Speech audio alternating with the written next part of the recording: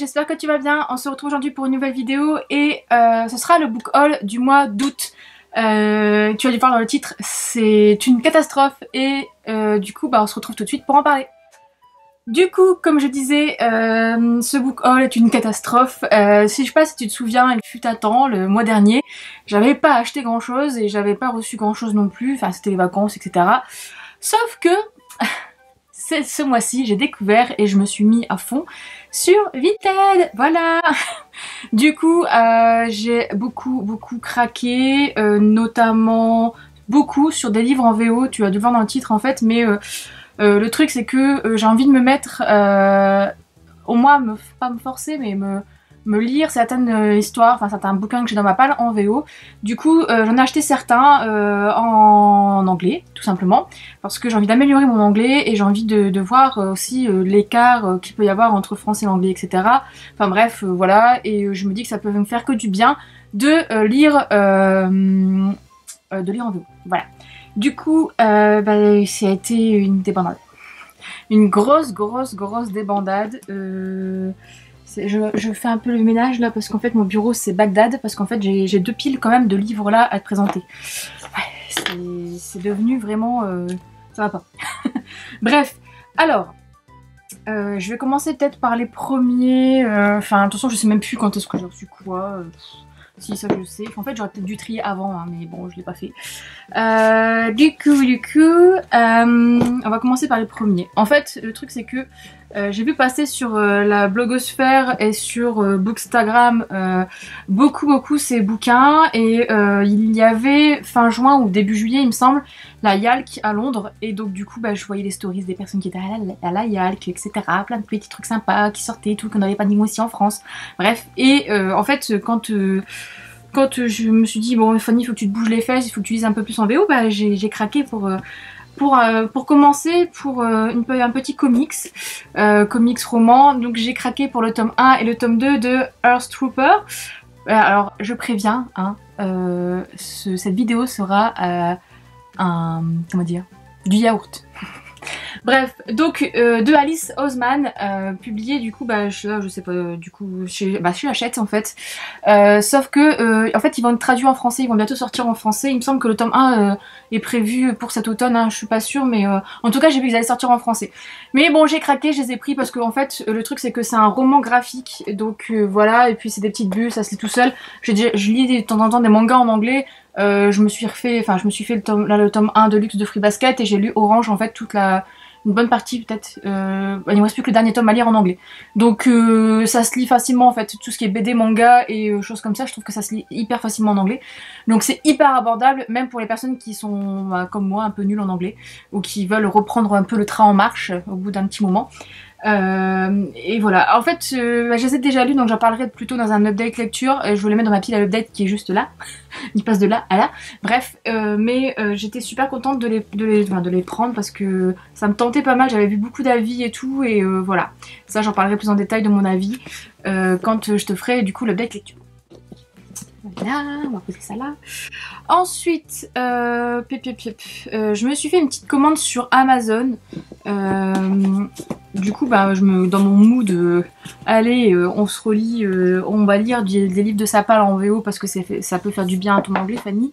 je me suis pris 4 livres, même plus, non 4, 4 sur Amazon. parce qu'en fait, le truc c'est que les paperbacks je trouve qu'ils sont vraiment parfois à des prix hyper abordables. Tu les payes 5-6 euros, alors que euh, bah, les hardbacks, tu peux les avoir un peu moins cher qu'un livre paperback chez nous en grand format, je sais pas si tu vois ce que je veux dire. Mais en gros, euh, t'as des hardbacks qui peuvent être à 11, 12, 13, 14, 15, généralement c'est 15, 16, 17. Hein. Mais euh, des fois tu peux les avoir moins cher. Et le truc c'est que là, euh, les paperbacks en fait c'est le prix d'un poche et encore moins cher qu'un poche en France et euh, ils font le limite, ils sont entre le grand format et le moyen format, enfin le format euh, de semi-poche quoi. Donc du coup je me dis ça vaut largement le coup en fait et c'est largement, bah, c'est largement moins cher et du coup tu peux en acheter plus. Voilà, logique. Euh, et du coup, bah, j'ai fait une première commande de 4 bouquins qui étaient dans ma palle et j'avais tenu à prendre 4 livres qui sont un peu du young adult fantasy, etc. Et 4 enfin deux pardon, euh, deux romances contemporains, etc. Comme ça, je pouvais varier comme je fais d'habitude en fait avec mes livres en VO, hein, en VF, pardon, je varie en fait tous les mois. Bref, du coup, euh, j'ai pris en premier euh, The Hazelwood du coup de Melissa Albert. Donc en France, c'est publié chez Milan. Euh, ça fait depuis un moment, enfin depuis sa sortie en fait qui est dans ma page, j'avais craqué pour, euh, pour la version française. Et là, euh, bah, du coup quand j'ai vu, c'est l'édition poche du coup de chez, j'ai plus qui, de Fletirion Books, qui était à même pas 4-5 euros. Bah voilà, hein, c'est le prix d'un roman d'occasion chez nous. Donc là, bah, je l'ai pris, en plus il est tout neuf, donc voilà, ça se prend, hein, ça se prend. Parce que des fois en fait sur Amazon, il faut bien surveiller, mais t'as des prix qui bougent, qui fluctuent en fonction des, types de livres, etc. Donc bien surveiller. Ensuite, euh, pour alterner, j'ai pris un Colin Over, donc Without Merit. Euh, du coup bah, de Colin Over, c'est qu'à de le dire. Euh, et en fait je l'ai pris celui-ci parce qu'il est dans ma palle en fait en français depuis sa sortie aussi. Et Colin Over j'ai déjà lu en VO Maybe Someday que je me refais de temps en temps et en fait bah, j'ai envie de lire celui-ci en, VO parce que en fait j'ai beaucoup aimé Maybe Someday en VO. Voilà et c'est hyper accessible je trouve et en tout cas, moi, j'y arrive. Donc, euh, franchement, si j'y arrive, tu peux y arriver. Et donc du coup, bah, il me, il était, il était, c'était, c'était, euh, comment dire, c'était bien de trouver un petit Colin Over comme ça. Ensuite, euh, j'ai pris Scarlett. du coup, c'est le tome 2 de The Lunar Chronicles, donc les chroniques lunaires de Marissa Meyer. Celui-ci, bah, je suis en train de le lire. je l'ai mis un peu en pause parce que en fait, j'ai des des services presse qui sont arrivés, enfin un seul pour l'instant, mais je sais qu'il y en a d'autres qui vont arriver et j'ai une lecture commune en cours, enfin bref c'est un peu le... Du coup euh, je l'ai mis un peu en pause, mais en fait celui-ci euh, je le lis... Euh, je lis un chapitre en français, un chapitre en anglais, vu que j'ai la version française. Temps, hein. Donc comme ça, vu que c'est un vocabulaire un peu plus, comment dire, de l'imaginaire, on va dire ça comme ça, il y a certains mots, etc. Je me dis, je veux pas trop me perdre. Donc du coup, au fur et à mesure, en fait, plus, le, livre avancera, là, je suis arrivée à la page 141 sur 400 des cacahuètes, 400, même 500, même 450. Donc du coup, je me dis, plus ça avancera, et plus, en fait, je lirai deux chapitres en en anglais, deux chapitres en français, ou peut-être je ferai juste 2-1, 3-1, etc. Vraiment pour bien quand même comprendre et bien me resituer dans le contexte. Je me dis que petit à petit comme ça, ça, peut, ça, ça marche en tout cas pour moi. Donc voilà. Et ensuite, le dernier pour lequel j'avais craqué pour cette première commande sur Amazon, parce que c'était que la première, euh, j'ai pris euh, Autobiographie de Christina Loren. Euh, du coup, voilà, celui-ci aussi, je l'avais dans ma palle en VO, en VF, pardon, et donc du coup, bah, j'ai pris en VO parce que je me suis dit ça va être hyper accessible vu que c'est du contemporain, du young adulte. Et je l'ai déjà lu, donc du coup, bah, je t'en parlerai dans un update. Mais niveau écriture, je trouve que c'est très accessible aussi. Euh, enfin, personnellement, moi, mon niveau n'est pas... Voilà, et euh, ça a été. Donc, euh, et j'étais super contente. Comme tu peux le constater, au début, je mettais des petites vignettes. Et pour finir, après, je me suis dit, allez hop, de la merde. Je vais pas passer mon temps à passer sur Word Référence pour traduire certaines choses que je comprends pas. Et pour finir, ça allait tout seul, parce que quand tu lis la phrase, après, ça va tout seul. Donc ça, ça sera peut-être, voilà, ça c'est ma façon de, voir, mais voilà. Bref, donc du coup, j'ai pris celui-ci aussi. Euh, suite à ça, il y a eu, euh, je suis allée faire un petit tour en fait sur, euh, sur, sur, sur, comment ça s'appelle? En, enfin, en librairie sur Lille parce que en fait il y a une librairie à Lille qui, comment dire, je vais pas y arriver. En fait, comme je range en même temps, je n'arrive pas à faire deux choses en même temps. Donc je disais, il y a une librairie à Lille en fait qui, qui est, qui s'appelle, qui la, livré, la librairie VO et qui en fait, bah, vend des livres de toutes les langues à peu près et qui, a qui avait, qui a apparemment un grand, euh, un grand rayon en fait de livres en anglais, etc. Euh, franchement, j'y suis allée. Je suis allée d'abord au Furet du Nord de Lille, donc qui ont quand même un rayon assez conséquent, je trouve, au niveau du young adulte. Même si, voilà, il n'y a pas tout, tout, tout. Et puis, même si les prix, je trouve qu'au Furet du Nord, ils se font quand même plaisir. Tu peux trouver moins cher en fait sur Amazon les bouquins, donc c'est ça qui est dommage. Enfin, surtout enfin, les livres en VO, j'en parlerai peut-être plus tard, mais euh, c'est difficile, je trouve, d'en trouver d'occasion.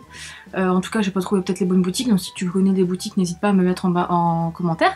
Mais bon, bref. Donc je disais, euh, du coup, je suis allée au Furet du Nord, mais j'ai pas trouvé trop ce que je voulais, parce que je cherchais quand même des livres assez précis qui sont dans ma palle, quoi. Donc, du coup, voilà. parce que quitte à lire en anglais, autant se faire, autant vider sa palle en même temps. Bref. Et ensuite, du coup, je suis allée à cette librairie VO qui est, je ne sais même plus quelle rue, mais qui est derrière, enfin, qui est pas loin du centre en fait qui est, euh, je sais même plus la rue, c'est la rue où il y avait Surcouf avant, donc ça date. je sais plus, mais c'est pas loin de la rue de... Enfin, tu descends la rue Béthune, enfin bref.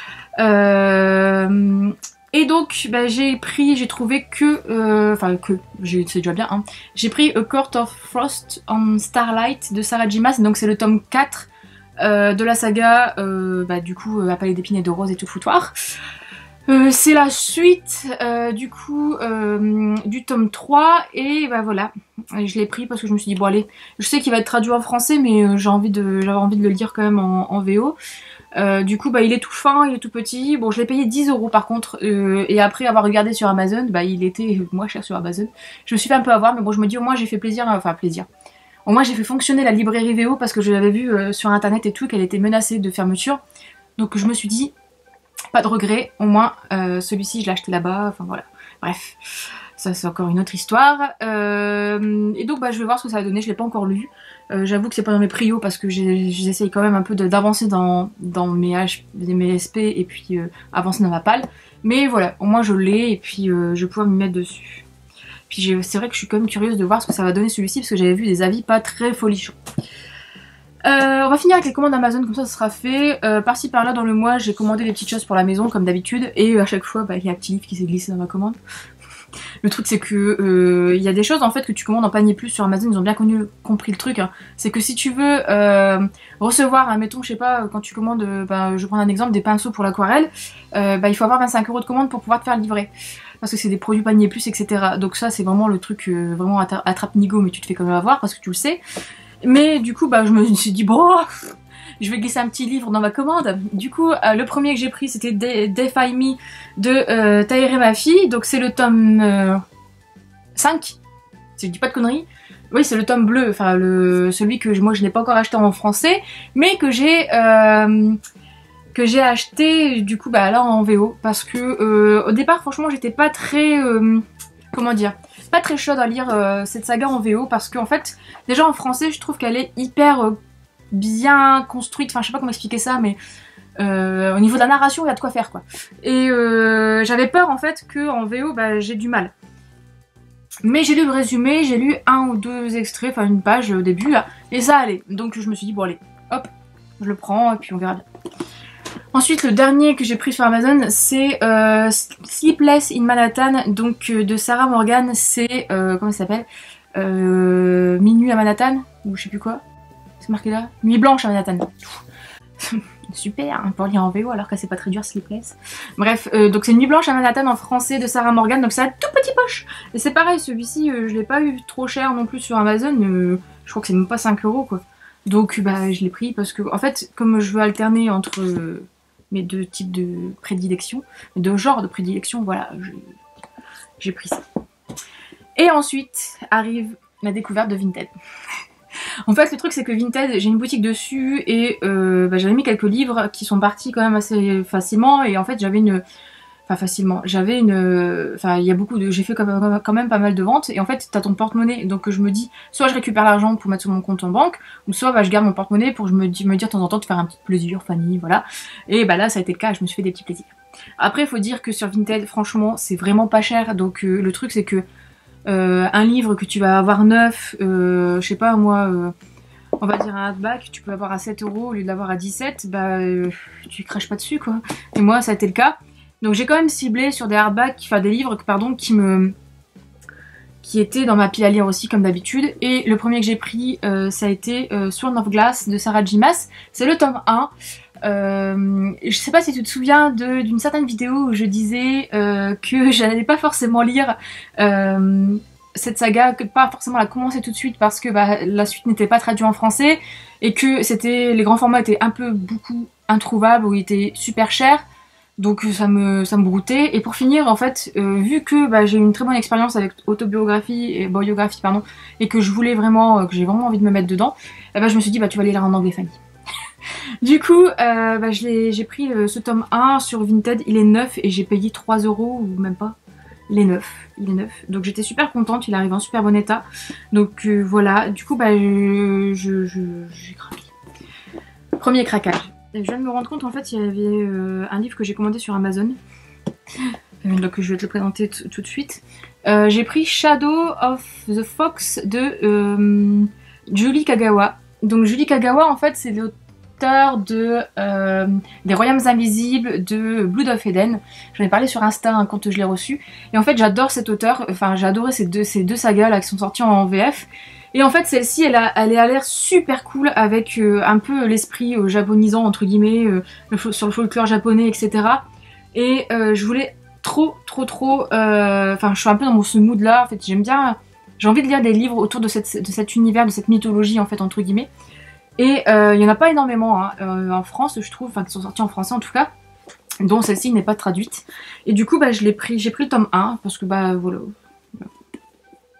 je me suis fait plaisir. Ensuite, un autre livre qui est dans ma palle et que j'ai trouvé à 2 euh, ou 3 euros sur, sur Vinted, c'est Warcross de Marilou. Voilà. Celui-ci va m'être utile, je pense, parce qu'il doit y avoir beaucoup de vocabulaire autour de l'informatique et du, développement ou quoi, je pense. Euh, tout ce qui est euh, ouais, autour de, autour de l'informatique, c'est vraiment le vocabulaire sur lequel je voudrais un peu me remettre dedans parce qu'en fait euh, c'est un vocabulaire que j'ai appris un peu pendant les cours etc mais pas trop j'ai envie de, voir donc c'est pour ça que je l'ai pris celui-ci et puis en plus c'est dans ma palle donc Ensuite, euh, j'ai reçu aussi euh, Illuminae de euh, Amy Kaufman et Jay Christophe. Donc c'est le tome 1, pareil en paperback. Même si je l'ai déjà, il est là derrière. Hein. Mais en fait, bah voilà. Pareil, celui-ci, je compte sur lui pour avoir du vocabulaire autour de l'informatique, autour de tout ce qui est numérique, etc. Donc je pense que ça va être le cas, parce que je vois système et tout. Request, transfer. Ouais, donc ça risque d'être cool. Euh, et puis je dois le lire depuis perpète avec Anaïs. Donc bah voilà, c'est une bonne, aussi une bonne excuse pour pouvoir euh, le sortir prochainement de ma palle. En fait, je pense que les livres que j'ai achetés en VO ce mois-ci, ce sera des livres que je lirai prochainement et qui sortiront de ma palle en fait euh, dans le futur, on va dire ça comme ça, j'y crois. mais c'est vraiment des livres que je vais lire, je pense, prochainement. Voilà, donc c'est déjà un petit teasing. Euh, et ensuite, bah, j'ai reçu euh, hier et je pense que de toute façon, tu... Enfin, il n'y a pas tout... En fait, j'ai encore commandé... oui, j'ai encore commandé. Il y a encore deux romans VO que je vais recevoir, plus un FR, qui sont sur Vinted, enfin, qui ont été expédiés par, sur Vinted. Et là, il y a une trilogie aussi que je vais recevoir, mais... Euh, en fait, ça a été expédié aujourd'hui, donc bah, le truc c'est que ce sera pour le mois prochain, c'est pas grave. Mais euh, la dernière en date que j'ai reçue, du coup, il y a Heartless de Marissa Meyer. Donc euh, c'est son one shot autour de la Reine de cœur d'Alice au Pays des Merveilles que j'ai hâte de lire, que j'ai super hâte de lire. Euh, parce qu'en fait, Marissa Meyer, du coup, quand je lis Scarlett, là, je trouve que son écriture, ça va, c'est quand même assez abordable. Donc je pense que je n'aurais même pas besoin de de comment dire, d'alterner en fait. Et puis je trouve que les en-têtes de shade c'est mignon, ça a une petite couronne et tout. Franchement, je suis curieuse, on m'a dit que c'était génial et tout, et euh, depuis le temps que je l'ai dans ma palle, celui-ci, euh, ça serait temps que je le sorte quoi. Et le dernier, en fait, pour réduire les frais de port, et en fait c'est un qui me tentait énormément, que j'avais mis dans ma wishlist Amazon en paperback, mais bon là, la, personne forcément l'avait en hardback, donc euh, bon, je l'ai eu à 6 ou 7 euros, donc j'allais pas cracher dessus. C'est Cruel Beauty de Rosemund Hodge. Euh, voilà, et je l'ai pris du coup bah, dans la même boutique que la personne qui vendait Earthless. Euh, je l'ai pas eu très cher, donc ça va. Et en fait, il me tentait beaucoup par le, de résumé. Euh, du coup, bah, je l'ai pris. Bon, je t'avoue que je trouve que, en fait, euh, même si je trouve que le, les hardbacks en fait c'est super beau, ça fait super dans une bibliothèque etc. Ça, on sent le côté qualitatif en fait du bouquin. Le truc c'est que euh, en fait quand tu te dis pour transporter, à lire etc. c'est la merde. Euh, tu vois le truc c'est que tu dois enlever, enfin moi je sais que je vais enlever la jaquette, enfin voilà puis ça, on peut pas plier le livre comme on veut, enfin voilà. C'est pour ça que j'ai pris que des paperbacks, déjà ils sont pas chers, moi j'aurais pas mal au cœur, parce qu'en plus bah, c'est une bonne partie que j'ai acheté, c'est des, occasions. Et euh, ensuite, bah, je peux les plier, les retaper, les mettre dans mon sac et faire tout ce que je veux avec, mettre des post-it et blablabla, euh, parce qu'en plus je souligne des fois le mot en crayon bois, donc euh, du coup voilà. Mais au moins je sais que j'aurais pas mal au cœur, etc. Puis vu que j'ai payé du bouquin, voilà. Mais c'est vrai qu'un hardback ça te fait un chier quand même. Voilà, et sinon, niveau réception, ce mois-ci, euh, j'ai reçu de la part des éditions Gallimard, je n'étais même pas au courant que j'allais recevoir ça, euh, c'est euh, Le matin de Neverworld de Marisha Pels, Pels j'ai déjà eu du mal à Pels, Pels, ouais, Pels. du coup voilà, je sais, peux pas t'en dire plus parce que franchement, je l'ai vu passer quelques fois sur Bookstagram et c'est tout. Et je me suis pas penchée du tout dessus, je ne savais pas que j'allais le recevoir, donc voilà. Au vu du résumé, ça a l'air d'être un thriller young adulte, mais je ne suis pas sûre. Donc si tu l'as lu ou si tu as un avis dessus, n'hésite pas à me donner en commentaire parce que je suis curieuse de voir. Et peut-être que tu me donneras envie de le lire. parce que là, je t'avoue que... voilà. je ne m'attendais pas du tout à le recevoir, donc je j'étais pas je me suis pas hypée plus que ça euh. mais apparemment ça a l'air euh, un truc un peu fantastique bizarroïde en tout cas psychologique plein de tensions et d'humour profond et singulier le premier roman pour jeune adulte d'une star de la littérature américaine. Ah. Ok. Bon bah on verra. Je découvre le truc. Donc n'hésite pas à me dire si tu l'as lu ce que tu en as pensé? Et le dernier que j'ai reçu euh, de la part des éditions Hugo Roman, c'est À la dérive de Jane Devro. Euh, bah, je t'en parlerai euh, du coup dans un update parce que je l'ai lu, voilà. Je n'en dis pas plus, mais ouais, ouais. Voilà, il est sorti le 14 août celui-ci. je l'ai lu là en un week-end, donc voilà. Voilà, voilà, on en reparlera. je pense qu'on a fait le tour, et eh oui Je pense qu'on a fait le tour. Euh, donc, euh, comme tu peux voir, ça a été un peu catastrophe. Donc, n'hésite pas à me dire si tu as lu un de ces livres aussi. Euh, ce que tu penses de la lecture VO, parce que je pense que, voilà, j'en parle pas beaucoup. Et je sais pas si je veux faire une vidéo sur ça, parce que je me sens pas encore assez légitime pour parler de ça pour moi personnellement. C'est mon côté, voilà. Mais n'hésite pas à me dire ce que tu en penses, etc. en commentaire. Et puis, et puis, et puis bah, je te dis à bientôt pour une prochaine vidéo. je pense que tu l'as peut-être senti ou pas, mais euh, tu as dû voir derrière moi, mais ça a un peu changé. Euh, parce que en fait, euh, j'en parlais, je sais plus quand aussi dans une autre vidéo où je disais que je parlais de rangement en bibliothèque, de rangement de bibliothèque en couleur et que voilà, je ne changerais, je devais réorganiser tout ça, mais je savais pas comment et là là. Je l'ai fait en fait sur Insta, je n'ai parlé sur Insta et voilà. Et du coup, je vais faire une petite vidéo pour faire un peu une mise au point quand même. Voilà, donc on en reparlera peut-être bientôt, etc. On verra. Euh, sur ce, je te dis à bientôt pour une prochaine vidéo.